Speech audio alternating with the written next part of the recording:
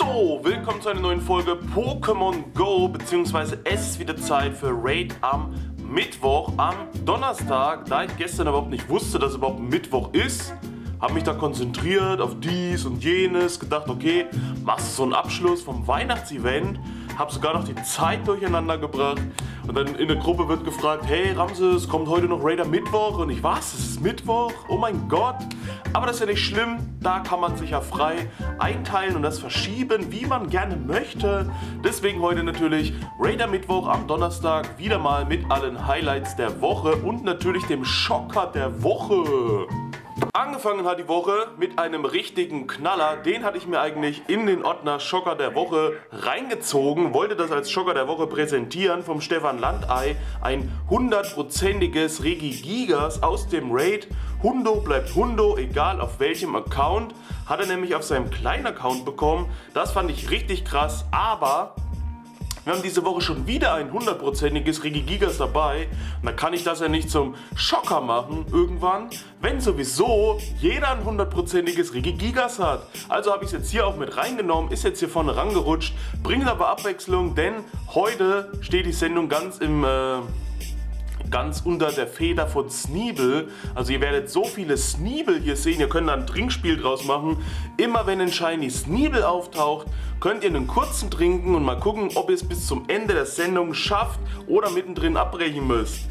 Also Stefan Landei 100% Regigigas, richtig genial. Dann Nägelmon, Shiny Nägelmon endlich mit einem Shiny Botogel. Ihr werdet also jetzt viele Sachen vom Weihnachtsevent sehen. Der Pushner mit einem Shiny Sneebel. Gluck, gluck, sage ich nur. Auch richtig genial. Bockwurst King mit einem Shiny Sneebel. Sind schon zwei. Ich verzichte mal hier drauf, einen Counter einzublenden. Ihr wisst ja, wie viel ihr dann getrunken habt an Shots. Bockwurst King auch mit einem 100% Alola Mauzi. Das ist cool. Jetzt hat er zwei Stück. Das wäre ein Traum für mich. Da würde ich natürlich eins so lassen, eins entwickeln zu Alolas Nobili Cut. Und dann hätte ich auch die als hundertprozentige abgehakt. Könnt ihr ja nur brüden, nicht mit einer Map finden oder irgendwas. Gut, könntet ihr durch einen Tausch natürlich hinbekommen, aber dann sind die ja vielleicht wieder lucky und das, das möchte ich ja nicht. Dann der Juli hat uns gezeigt, er hat ja einfach mal ein nullprozentiges Burmi gefunden. Auch richtig genial. Es gibt ja Leute, die sammeln wirklich die nullprozentigen Sally Maus mit einem Shiny Sneebel. Also Glückwunsch auch dafür. Dann die Sally Maus auf dem kleinen Account hinterher ein Shiny Schneebedeck, was ich immer noch sehr cool finde, dass da eben nicht die ganze Farbe umgemodelt wurde, sondern einfach nur ein äh, Detail geändert. Die Hände und auch die Entwicklung sieht richtig genial aus. Dann Bockwurst King zeigt uns hier ein Rosana in freier Wildbahn im Real Life, wie das so aussieht. Ne? Keine Ahnung, wer das ist, aber muss man nicht kennen, sage ich mal dazu. Dann auf dem großen hinterher, auch bei der Sally Maus, noch ein Schneebedeck. Und Nummer 2 auf dem großen Account noch ein Schneebedeck. Also die hat richtig abgesahnt. Ich habe nur zwei bekommen. Sie hat jetzt schon drei, wenn sie sich eins rübertauscht und hätte dann das höchste entwickeln können. Das scheint das höchste zu sein. Auch auf dem großen sogar, also alles richtig gemacht. Dann vorbelastet, mal ein brauchbares Shiny mit einem Shiny Schneebedeck. Das gab es ja auch schon ewig. Jetzt habt ihr auch wieder die Möglichkeit gehabt, Schneebedeck zu finden. Habe ich gar nicht so viele Shinies gesehen, die gepostet wurden. Aber vorbelastet hat uns hier eins präsentiert. Dann der Konstin hat ein 100% Zapdos bekommen, sicherlich als äh, Rocket Durchbruch. Aus der Spezialforschung auf jeden Fall hat das erlöst und hat jetzt ein hundertprozentiges Zapdos. Glückwunsch dafür auf jeden Fall. So ähnlich wird dann auch heute der ähm, Schocker der Woche sein, aber da dreht sich um was anderes. Dann der Bockwurst King. Nun reicht's aber wieder mit einem Shiny Sneebel. Der Pushner Shiny Sneebel Nummer 2 bei ihm. Auch wieder vertreten. Kenny mit einem Shiny Schneebedeck. Wunderbar. Pushner Nummer 3 an Shinies heute. Aber eben ein Shiny Pandimos. Lifter Raider, gerade aus dem Ei ein Shiny Pantimimi. Das ist schön, dass hier der große Bruder kommt und der kleine hinterher. Shiny Pantimimi, wirklich auch eins der seltensten Shinies noch mit, würde ich sagen. Mobile Genauso das kleine Baby vom Mogelbaum, Shinies, die ihr brüten könnt, die seit kurzem erst im Spiel sind. Also die haben es richtig hinter den Ohren, richtig dick und fett hinter den Ohren. Dann Shiny Damir Blacks hier beim Kenny noch auf einem kleinen Account, 1515. ist, denke ich mal, aus einem Raid Puma Girlie mit einem Shiny Ho-Oh, wie man sieht. Das ist nämlich grün. Das ist lustig. Das werde ich vielleicht als... Ne, das nehme ich nicht als Thumbnail. Ich nehme bestimmt Rosana. Weil Frauen bringen Klicks und wenn je hässlicher die Frau, desto mehr Klicks. Ne, das ist unlogisch, egal. Der auf jeden Fall cool, vielleicht nehme ich den als Vorschaubild. Shiny Nägelmon mit einem Shiny Pikachu. Dann hat da Gro was geschickt, der hat auf dem kleinen Account ein bisschen hin und her getauscht, hat gleich zwei 98-prozentige, äh, nicht Shiny Sneebel, nicht trinken, hört auf zwei 98-prozentige Sneebel bekommen mit 15 Angriff, mit 15 Verteidigung. Also richtig genial. Würde ich auch entwickeln, würde ich hochziehen. Sneebunna kann man nie genug haben. Richtig heftiges Pokémon. Und auf dem großen durchs Tauschen hinterher direkt auch ein 100-prozentiges aber das nicht als Lucky. Trotzdem würde sich das natürlich lohnen, hochzuziehen. Hat auch jetzt schon ein richtig gutes Level. Wo wir gerade bei Snibunna sind, 100%igen und nicht Lucky haben wir im Gegensatz zu hier noch ein Lucky, hundertprozentiges Nibuna vom Vorbelastet, gerade getauscht und direkt auf Max gepusht, 3005. Richtig guter Angreifer natürlich für Unlicht, auch an Eis kann das ein bisschen was austeilen. Hoge Freak Red, Event läuft mit einem Shiny Pikachu. Das Dragoban hat uns wieder hier geschickt, 100% Damierplex mit Kostüm. Das also auch selten könnt ihr jetzt ja nicht mehr bekommen, nur noch die normalen. Dann Sally Maus, Shiny Sneebel, Sally Maus und endlich mein Pikachu, ein schillerndes Pushner mit einem Shiny Bodogel, der Brain, Brain, Brain. Der Herr Schlurrig auf jeden Fall. Der sammelt weiter Evoli-Bonbons, ist jetzt bei 10.001.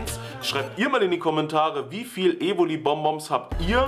Ich habe damals, wie gesagt, ja dann auch einfach irgendwann Entwicklungssessions damit gemacht, alles rausgeballert. Den momentanen Stand weiß ich eigentlich gar nicht, aber ich fange auch gar nicht mehr so viele Evolis.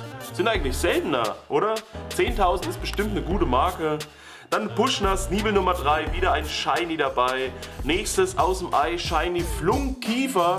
Das finde ich eigentlich schon richtig genial. Shiny Flunkiefer aus dem Ei. Bei Flunkiefer bin ich damals ja fast verzweifelt, bis ich dann irgendwann durch Zufall auf einem kleinen Account noch 10.000 Raids 1 bekommen habe. Hab da auch ein Epic-Video dazu gedreht, zusammengeschnitten, heftige Musik, wie viele Raids ich gemacht habe, alles hin und her und dann wieder kein Shiny, wieder kein Shiny, boom. Aber hier aus den Eiern hinterhergeworfen. Beim Pushner nochmal. Nächstes Sneebel ist ja wie beim Community Day. Schon wieder Shiny Sneebel. Bockwurst King mit einem Shiny Elekid, auch als der selteneren, weil das eben Baby ist, was gebrütet wird. Aber da es schon so lange im Spiel ist, ist das Pantimimi immer noch seltener, würde ich sagen. Gandalf, Julius, Shiny Pikachu, Shiny Formeo, der Hodensack, wie man immer sieht hier. Dann bin ich aufgestiegen mit Extrem zu Glücksfreunden. Da haben wir später auch was. Nee, haben wir noch nicht. Wir wollten, ging dann nicht. Er hat nicht das gehabt, was ich wollte. Jetzt wollen wir es uns erstmal aufsparen. Dann ein Shiny Quieke. Ups, aus Versehen draufgedrückt und Shiny, ne? Man muss es ja nicht fangen, man kann ja auch fliehen. Der Ash Ketchup, genauso wie das zweite Shiny heute mit einem Shiny Kusilla. Auch wieder Baby. Mitchell mit einem Shiny Schneebedeck, vorbelastet. Auf dem zweiten Account das erste Pokémon heute von zu Hause aus direkt Shiny Schnäppke. Der hat ja vorhin auch das andere Shiny Schnäppke gehabt. Dann der Bockwurst King mit seinem Problem Nummer 1. Wenn er irgendwas fängt, der hat immer 14, 14, 14 und heult schon da. Warum? Weil früher beim Bewerten, ihr, hättet, ihr wärt gestorben, wenn da immer steht, KP ist sein Beste, Verteidigung ist auch das Beste, Angriff Beste, sind stark. Anstatt die Besten, die er je gesehen hat, weil ihr denkt dann immer, wow, alle drei Werte gleich und bester Satz und jetzt fällt der Weihnachtsmann gleich um. Dann denkt, ihr jedes Mal 100%, aber dann hat es euch immer enttäuscht, weil dann hat es nur drei Werte auf 14 gehabt. Ich kann das schon verstehen. Der Black Scarwolf zeigt uns hier noch, Niantic kann ja auch mal cool sein, vor acht Tagen eingereicht und jetzt als Stop im Spiel. Und das Besondere an dem Stop, das ist einfach mal das Gasthaus Schilling. Gasthaus seit 1919. Da hätte man noch das Gasthaus separat machen können und das Wandbild Mural separat. So hätte man aus dem Ding gleich zwei gemacht. Das wäre meine Empfehlung gewesen. Einfach das Gasthaus als Ganzes und dann einzeln die Wand wo das Mural drauf ist mit den ganzen Damen. Dann der Konsti noch mit einem 100% Pikachu. Das Dragoran wieder mit einem äh, Glücksknackrack, 91%, relativ gute Werte, kann man hochziehen. Hat er wahrscheinlich hier auch. Aber dann sind ihm, glaube ich, die Bonbons ausgegangen. Auf jeden Fall 3636. Da finde ich den äh, Lucky-Hintergrund auch gar nicht so störend, weil Knackrack ist ja ein mächtiges Pokémon. Das verdeckt ja viel von diesem Grellen. Das bisschen äh, goldige, was dahinter vorschimmert, ist dann nicht so übertrieben. Und vor allem bei Knackrack ist es ja auch gut, was zu haben mit guten IV. Aber was braucht ihr jetzt gute IV? bei irgendeinem kleinen vermurksten Schneebedeck-Shiny zum Beispiel. Das ist, damit macht ihr doch nichts. Bei Knackrack was anderes. Bei solchen Viechern, Glücks-Pokémon, das ist sinnvoll, aber doch nicht bei so kleinen verkorksten Shinies, sage ich mal. Noch auffälliger geht's nicht. Auch vom Dragoran hier ein äh, Team Go Rocket Ballon ne, mit Mauzi, der da durch die Gegend fliegt. Und Sally Maus auf dem kleinen Account Shiny Perlu habe ich seitdem diesmal, äh, seitdem damals hier diese, dieser Quest Day war, kein einziges mehr gekriegt oder gesehen. Das ist auch so eine Sache. Die müssten doch auch mal wieder so einen äh, Quest Day machen. Obwohl müssen sie eigentlich nicht, ist wieder Stress. Also macht kein Quest Day, egal. Die haben das ja genutzt eben, erstmal für Barschwa, dann für Perlu, alle waren froh, sonst gab es ja glaube ich nichts. Was würden die noch damit machen wollen? Perlu wurde neu eingeführt, Barschwa haben sie es verkackt gehabt damals, aber Lift Up Raider hier mit einem Shiny Regi-Eis an dem Winterwochenende. Bockwurst King hingegen mit einem 100% Regi-Eis. Dann der Bockwurst King, das gleiche Leid wie immer. Zweimal knapp am 100er vorbei. Hier ein 98er und danach auch noch ein 98er, aber eben ein anderes. Bobsrop ist aufgestiegen auf Level 40. Glückwunsch dafür. Pushner, der ist schuld, dass ihr jetzt mittlerweile schon 5 äh, kurze trinken musstet. Schon wieder Shiny Sneebel. Mitchell hier mit einem hundertprozentigen Quiekel auch. Nicht schlecht für einen Tag beim Kenny. Zwei Shiny Sneebel, also gleich ein Doppelshot. Und ein Shiny Schneebedeck, was zu viel M&M's gegessen hat und noch ein M hinten dran gehangen hat. Gandalf Julius, noch eins mit einem Shiny Pichu. Gebrütet. Und noch eins, das dritte jetzt, schon wieder Shiny Pichu. Also der hat so viel Glück. Ich glaube, der hat insgesamt fünf Stück dann gehabt im Event. Andere, die brüten zwei Millionen Eier und kriegen kein einziges. Und er hat insgesamt fünf Shiny Pichu gehabt. Das müsst ihr euch mal vorstellen. Das müsste schon alleine der Schocker der Woche sein eigentlich. Fünf Shiny Pichu. Mal gucken, ob es bei Wampel auch so läuft. Oder keine Ahnung, also der macht das schon irgendwie. Mal gucken, Wampel und äh, Pichu, ja, mit Partyhut könnte ja dann ab heute Abend 22 Uhr brüten. Dann der Grom, genau deswegen immer schön das Gesicht Neihalter. Letztens wurde ich bei einem Raid gefragt, ob ich da grob bin. Ich so, äh, ja, woher war ich? Vom Ramses. Dieses vermischte erst so normal und dann ein Wort ist einfach komplett Woisch. Das ist auf jeden Fall lustig, wenn Leute andere Leute erkennen über mich, von mir, keine Ahnung. Also da habe ich mich gefreut. Ich selbst würde ihn wahrscheinlich auch gar nicht erkennen. Ich kenne ihn ja nur von äh, Facebook so und bin eh immer blind, wenn ich durch die Gegend laufe. Aber der kommt ja nicht von hier. Aber doch schön, dass Leute ihn erkannt haben und sagen, ah, bist du nicht der Crow? Kenne ich doch aus den Ramses-Videos. Dann der Dennis, der hat auch unglaublich abgerissen. Ach du Scheiße, die letzten zwei Tage kaum zu glauben. Das gucken wir uns nämlich alles mal an. Der hat ein 100, ach ein 100, ein 93-prozentiges Shiny Kaumalat gebrütet. Gebrütet? Level 27.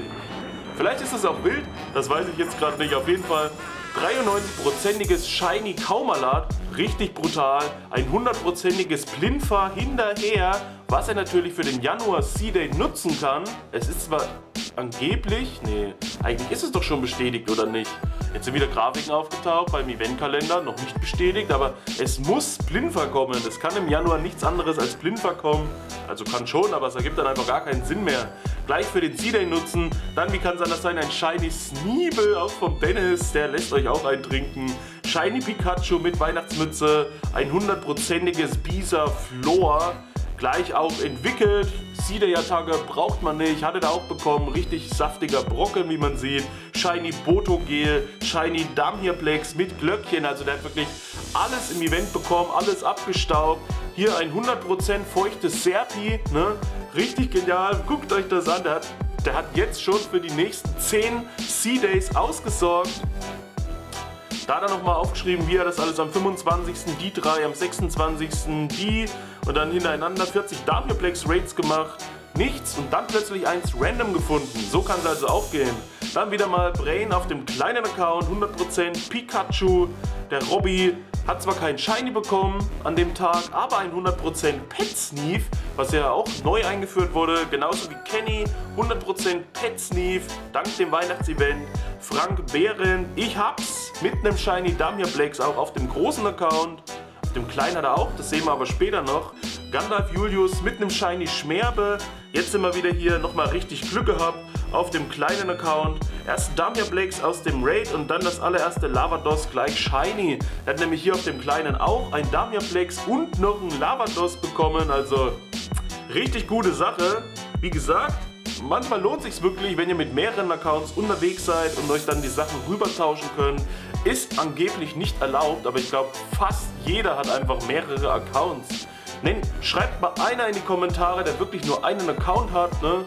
Den werde ich sofort blockieren und löschen.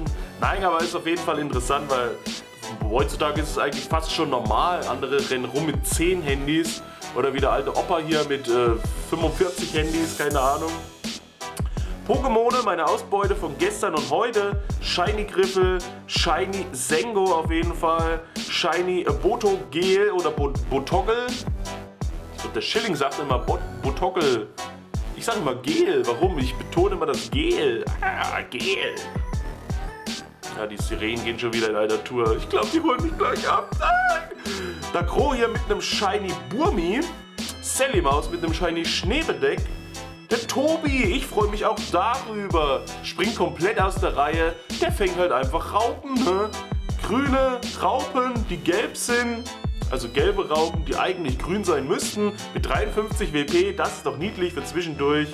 Dann der Alex Hobby, gestern Abend auch noch ausgebrütet, man erkennt es zwar kaum, aber das ist Shiny. Hat auch hier ein Shiny Pichu mit Weihnachtsmütze und heute das bekommen, noch ein 100% Pichu mit Weihnachtsmütze. Nicht schillernd, aber 100%. Also alles abgedeckt. 100er, Shiny, was will man mehr? Gandalf Julius noch mit einem 100% Damiaplex mit Glöckchen. Dann habe ich eine Tropenblume gefunden mit meinem Buddy. Habt ihr auch schon ein Souvenir gefunden mit eurem Buddy? Schreibt es mal in die Kommentare und vor allem, wie findet ihr das, dass man Souvenirs finden kann? Die machen nichts, die müllen das Profil zu. Kann man ja machen. Eigentlich ist Quatsch. Also ihr habt jetzt nicht irgendwie einen spielerischen Vorteil dadurch. Dann habe ich einen Glückstrade gemacht, mir ein Lucario geholt und ich habe jedes Mal Pech. Ich will doch einfach nur ein gutes Lucario oder Riolo haben, was ich hochziehen kann, was ich maxen kann. Für PvP, für Rocket Stops, für alles mögliche. Aber egal was ich bekomme, ich habe jetzt schon 3, 4, 5 getradet, immer mit garantiertem Glückstausch. Aber ich habe es noch nie geschafft, eins zu bekommen durch den Glückstausch, was wenigstens Angriff auf 15 hat. Auch hier KP 15, Angriff auf 13. Das ist nichts. Ich möchte doch bitte nur einen Lucky äh, Riolo oder Lucky Lucario mit mindestens 15 Angriff. Ist das denn so schwer? Auch hier gerade auf dem Markt geradet. Der Fischi mit einem Shiny Damhirplex mit Glöckchen. Tobi, endlich habe ich auch mal eins. Das Shiny Sneebel hat sich angepasst von den WP an das Shiny Raupi. Ihr seht, er fängt immer kleine Fische. Da werden kleine Brötchen gebacken. Endlich Sally Maus Shiny Botogel. Botogel, wie auch immer, keine Ahnung. Sneebel Nummer 6. Beim Puschner auch wieder Shiny, dann ein Shiny Schnäppke hinterher. Der Wettermarkus ist schuld, dass der Stefan Landei kein Schocker der Woche wurde. Der hat nämlich hier am Wochenende ein Shiny Kyogre, steht auch da, lese es doch einfach vor, ein Shiny Kyogre bekommen und ein 100% Regigigas waren jetzt schon 3200 so gefangen. Also richtig fett, richtig brutal, wenn das Wetter geboostet ist und gleich über 3100 hat. Das auf jeden Fall auch, das wäre cool. Ich habe ja Bonbons gesammelt, wollte auch eins hochziehen, aber fehlt natürlich ein gutes. Habe ich letztens auch einen Glückstausch gemacht und habe eins mit 84% oder so rausbekommen. Also alles für die Tonne. Pokebohne nochmal, Shiny Pikachu, Bockwurst King, Shiny Sneebel, Shiny Sneebel, zwei hinterher direkt, Shiny Kramurks, Gandalf Julius, Shiny Bronze, Der Fischi mit einem 100% erlösten Zubat. Bockwurst King nochmal Hass-Pokémon des Monats, also im Januar. Eigentlich war es ja Dezember. Im Dezember wirklich hier Sneebel Community Day. Noch ein Shiny hinterher, noch ein Shiny Kramurks beim Bockwurst King. Dann was Cooles, da hat er nämlich ein Shiny Shinux gebrütet, ist das glaube ich. Pushner mit seinem zweiten Shiny Botogel. Pushner, nächstes kurz danach mit einem Shiny Wablu. Der Tim mit einem Shiny Kusilla, auch gebrütet, auch coole Sache auf jeden Fall. Robby nochmal mit einem hundertprozentigen Stalobor. Dann bin ich aufgestiegen bei der das war gar nicht die Raid-Stunde. Das haben wir einfach so gemacht, ohne Sinn und Verstand. Aufgestiegen zu Beste Freunde mit der Killer 700. Er wollte nämlich unbedingt dieses Jahr noch äh, Level 40 erreichen. Er hatte noch zwei beste Freunde, die er machen konnte. Ihm haben noch 300.000 gefehlt. Ich hoffe, er hat es geschafft. Er hat mir auf jeden Fall keine Rückmeldung gegeben, aber wir haben uns ja geeinigt. 18 Uhr, Geschenk auf, Ei an, fertig, bam. Also, Grüße gehen raus an der Killer 700. Dann die Elekid beim Ash Ketchup. Dann der Kenny, der nochmal berichtet hat, äh, wo es um YouTube und das ganze Zeugs ging. Er hat dieses Jahr auf Fährmann beim Raid einen getroffen, der Ramons Videos geschaut hat. Das müsst ihr euch mal vorstellen. Nicht mal 1000 Abos, aber auf Hermann, da gucken die die Videos, ne? In Taiwan bestimmt auch. Dann der Frank Behren und das ist glaube ich jetzt wirklich das letzte Bild, damit wir nicht noch mehr Shiny Sneebel hier sehen. Viele Grüße aus Köln da, letztes Shiny des Jahres. Wünsche euch allen nochmal alles Gute für 2020. Zum Abschluss nochmal ein Shiny Sneebel am 31.12.2019. Den Rest sparen wir uns jetzt auf für nächste Woche. Und wir haben natürlich jetzt noch den Schocker der Woche.